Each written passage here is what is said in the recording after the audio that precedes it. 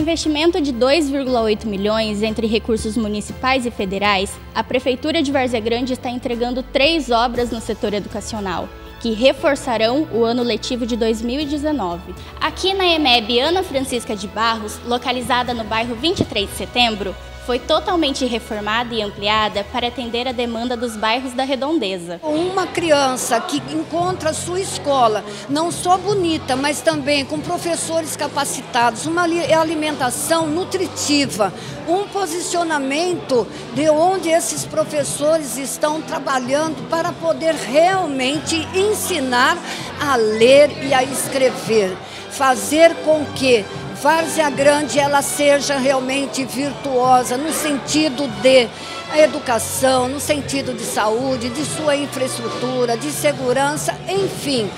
Várzea Grande tem que mostrar totalmente o seu, a sua potencialidade. E isso nós estamos fazendo e procurando fazer mais ainda, como prefeita, para poder levar essa dignidade às famílias da nossa cidade. Nós tínhamos duas salas abandonadas praticamente há 10 anos, que iniciaram a construção e paralisaram.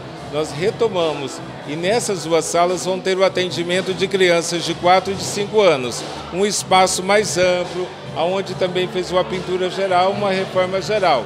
Então, o, o bom é nós vermos que a educação está caminhando, fazendo diferencial no atendimento da nossa clientela em Várzea Grande, com mais de 27 mil alunos. Essa é a 16ª escola que nós reformamos completamente, e onde nós temos mais duas em construção. E temos em licitação várias, num, é, num pacote de 21, um outro de 7, um outro de 5, e fora as quadras. Então a Várzea Grande realmente fazendo diferencial. Várzea Grande executa ainda, para os próximos dois anos, obras em três escolas em parceria com o governo do estado, 15 CMEIs e pelo menos a reforma e melhoria em outras oito escolas municipais de educação básica. Olha, quando eu cheguei aqui, essas duas salas, inclusive essa que a gente estava aqui era um mato, que era dessa altura um monte de entulho, sem telhado, descobertas, tá?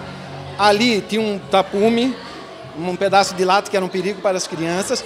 Isso foi em agosto do ano passado. E com o trabalho do prefeito, com o trabalho do secretário, o nosso trabalho da equipe da escola, a gente conseguiu reverter e conseguiu fazer isso que vocês estão vendo isso aqui. Isso, esse trabalho aqui, a empresa pegou em agosto. Foram 120 dias de trabalho, 120 dias deram conta do resultado. Já está evoluindo, tem, já, já deu o primeiro avanço, já arrumou as as mais sala que estava precisando, porque todo ano nós precisava de sala. É melhorar muito, por causa que incentiva mais ele estar querendo vir na escola, né? Sendo que todos esses investimentos asseguram uma melhora na qualidade do ensino ofertado para a população em idade escolar.